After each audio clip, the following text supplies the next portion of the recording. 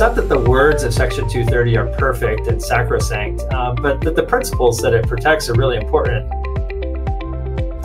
Welcome to Ellysse and Ashley Break the Internet, a series where we're exploring the ins and outs of Section 230, the law from the 90s that may or may not shape the future of the Internet. I'm Ellysse Dick, Research Fellow at the Information Technology and Innovation Foundation. We're a tech policy think tank based in Washington, D.C.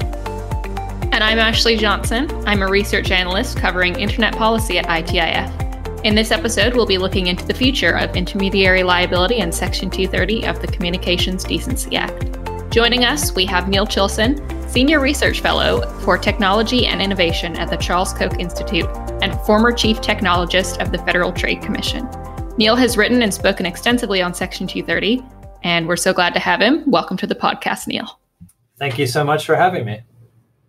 Uh, to start off, a very general question that will hopefully guide our conversation. The internet has changed a lot since 1996, and do you think Section 230 has kept up? Uh, so, yeah, the internet has changed a lot since 1996. Um, and in part, a lot of those changes were made possible by Section 230. Uh, Section 230 allowed for the user generated content platforms that we all use every day. Uh, and it, while the internet has changed a lot, the basic problem that Section 230 uh, tried to solve, which is called the moderator's dilemma, um, has not, if anything, it's gotten uh, worse. Um, the challenge uh, of content moderation moderation has uh, increased quite a lot since uh, the days of Prodigy and CompuServe.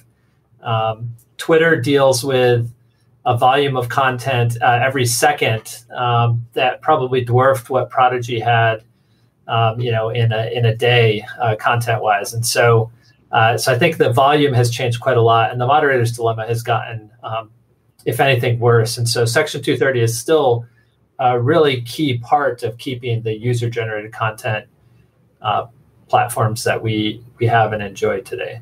Um, I want to talk about the statement that you gave at the Department of Justice workshop on Section 230 in February of 2020.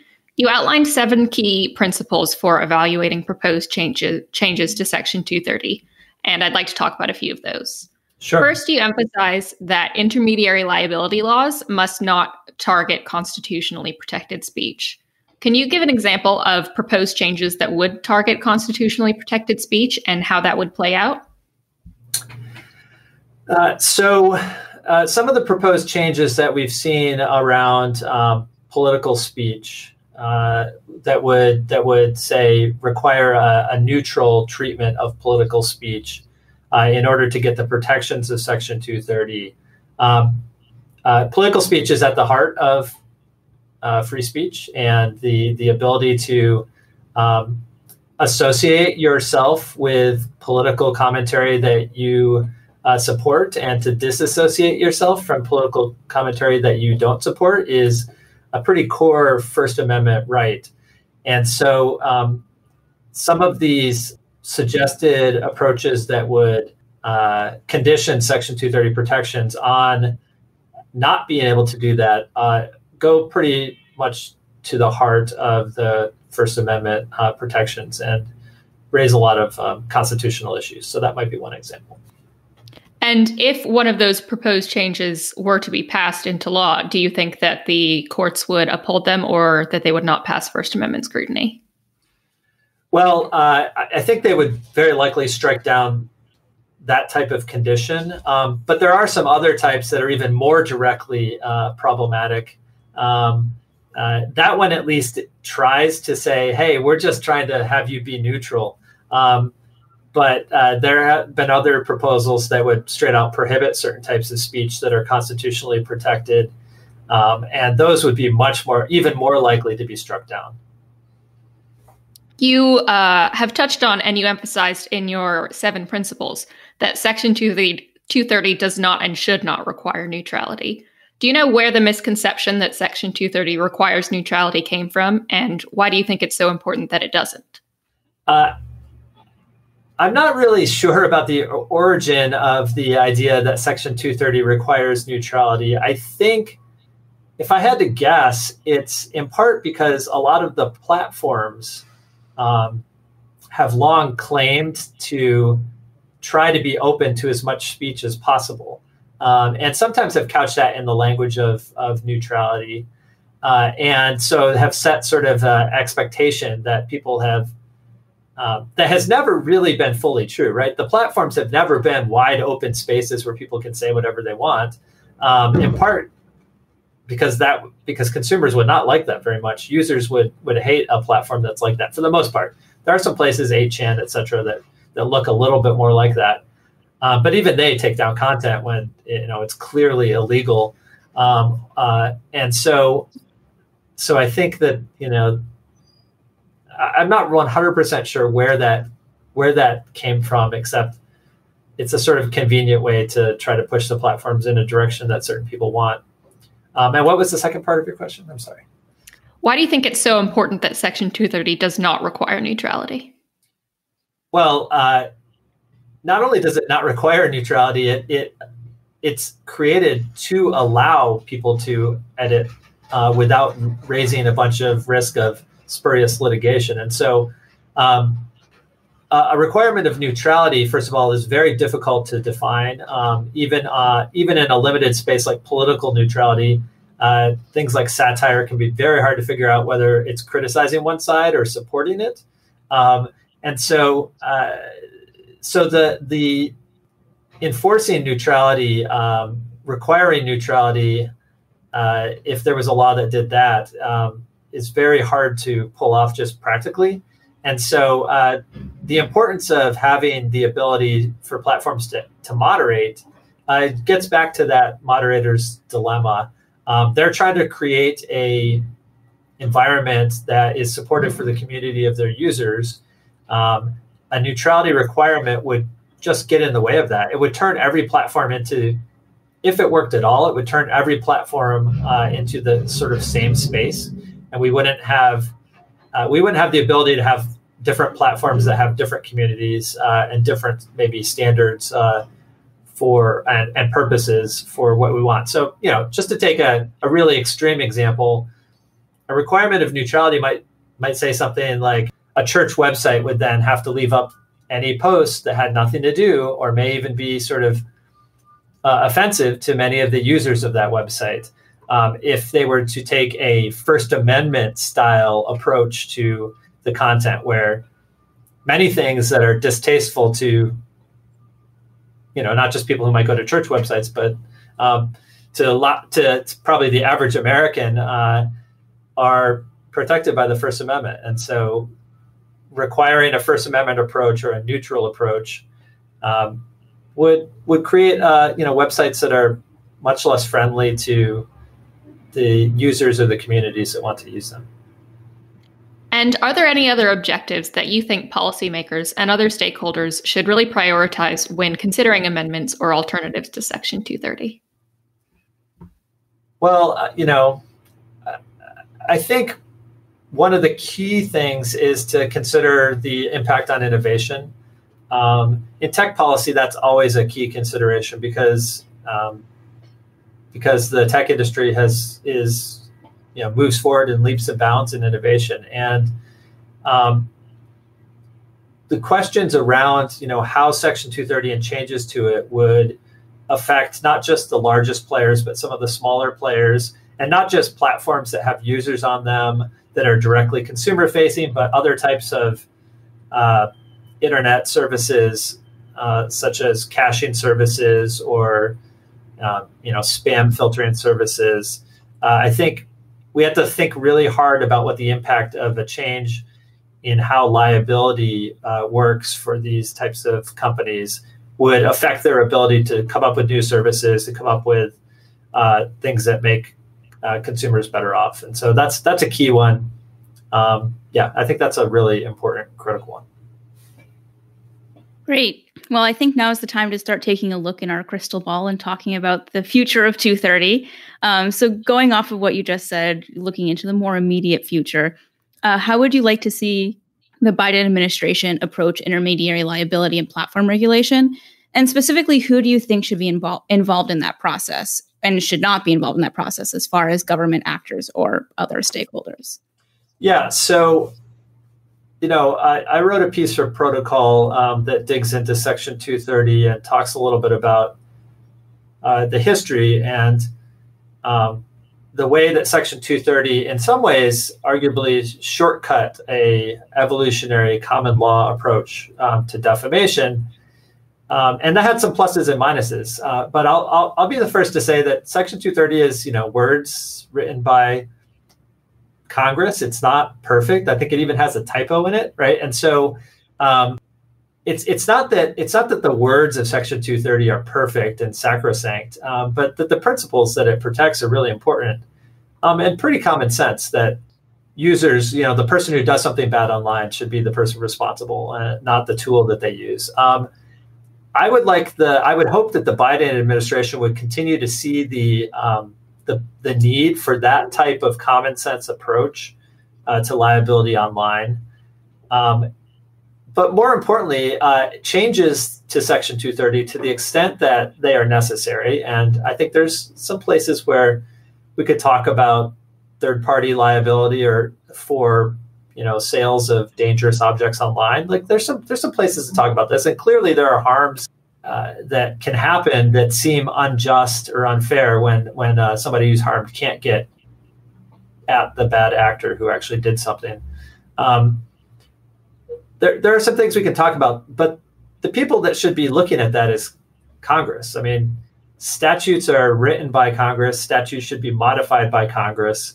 Um, the idea that an agency like the Federal Communications Commission, for example, who has never professed to to have any authority over Section 230, uh, would would go in and essentially correct the courts on what the statute says or how the statute should be interpreted. Um, that's a bad idea. It's a it's a uh, it's a dangerous idea, and it also seems unlikely to make any of the people who have been pushing for that in the the recent past happy with the results. Um, you know, it's just sort of mind-boggling to me that Trump administration would be pushing this off to an agency that is going to be run by uh, you know Biden appointees in the near future, and would expect that even though the that the result would be good for you know, conservatives or for Trump himself. So um, Congress should work this out. It's there's some difficult problems here. Um,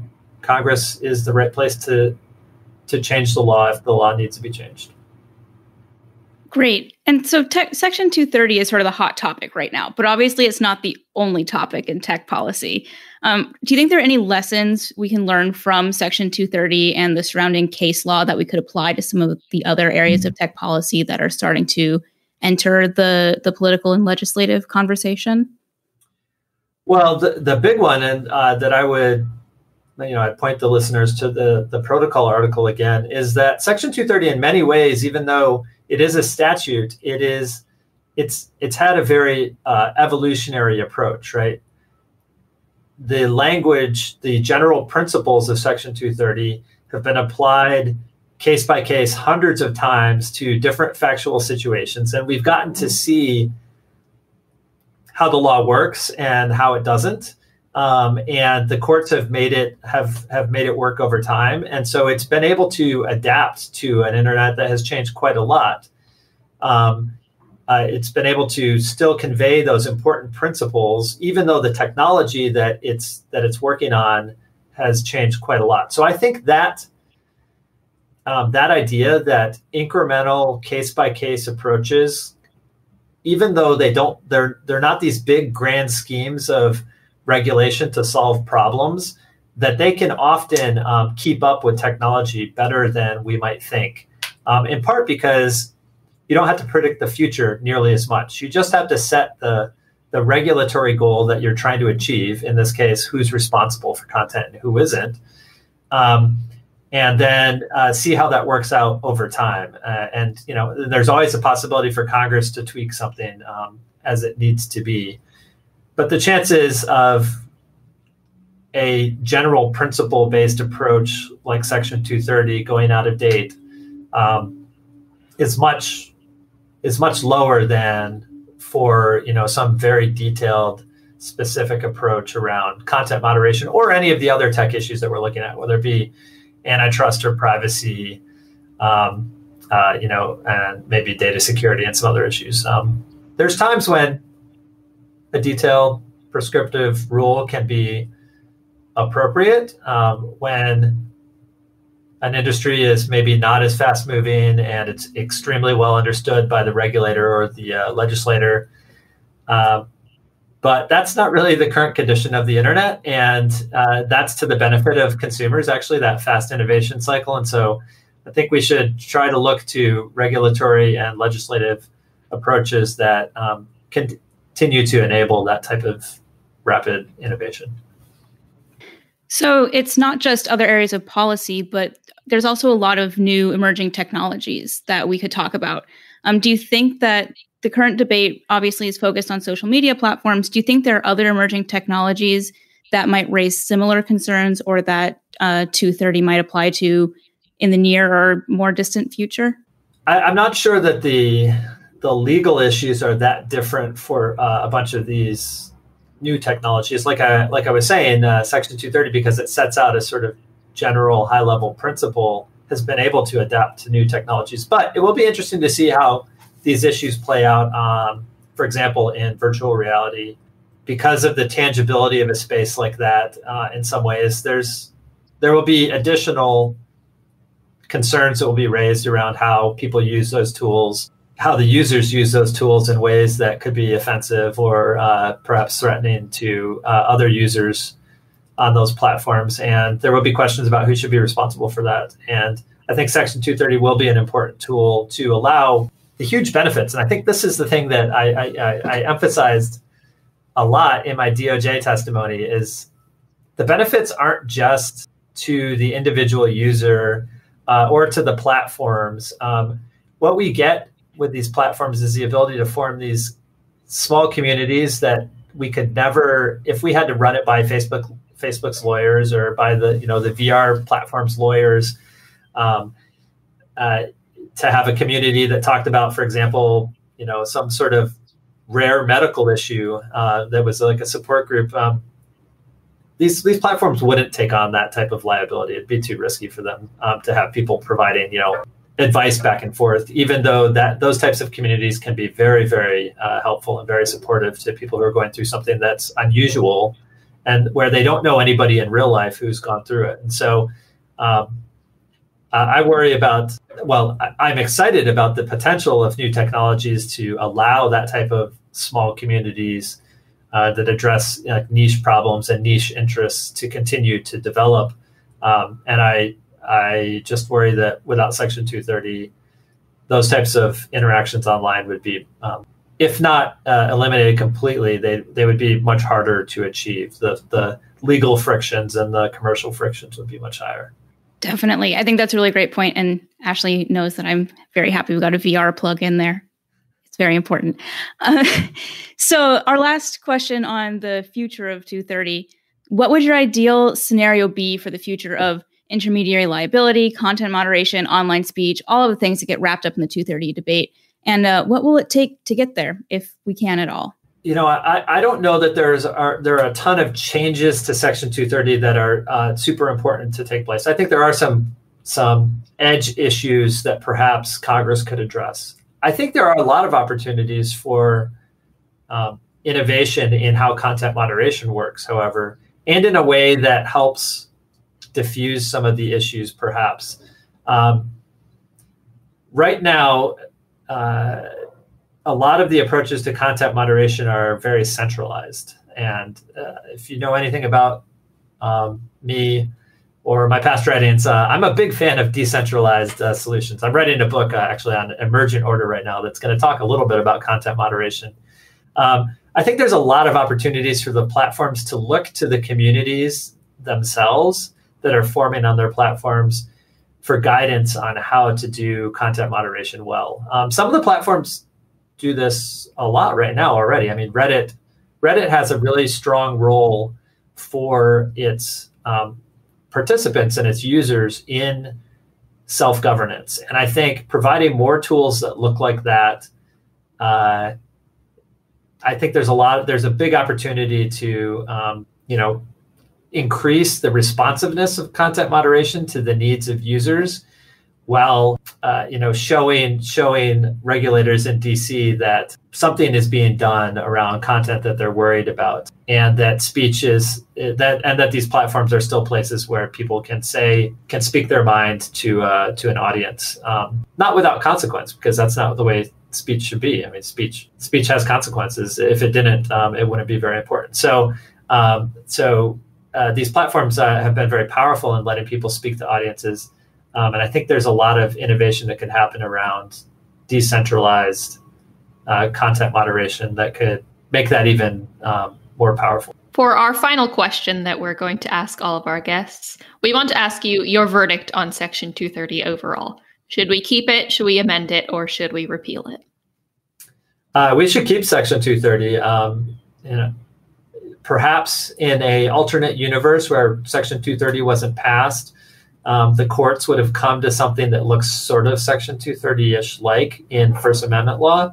Um, but, uh, you know, I think uh, Professor Goldman has made a good case that in many ways Section 230 um, builds on the First Amendment uh, in a way that has really opened up an entirely new way for people to speak to broad audiences without having to go through gatekeepers.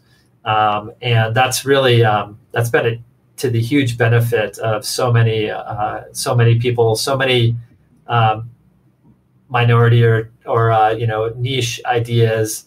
Um, you know pluses and minuses to that, but overall, Section 230 has been a, a great boon to uh, speech online, um, and in the world that we're in right now, uh, it makes a ton of sense to keep it around. Thank you so much. Very well said. Thanks for joining us, Neil. If you want to hear more from Neil, you can follow him on Twitter at Neil underscore Chilson. That's it for this episode. If you liked it, then please be sure to rate us and tell your friends and colleagues to subscribe. You can find the show notes and sign up for our weekly email newsletter on our website, itif.org. And be sure to follow us on Twitter, Facebook, and LinkedIn at ITIFDC.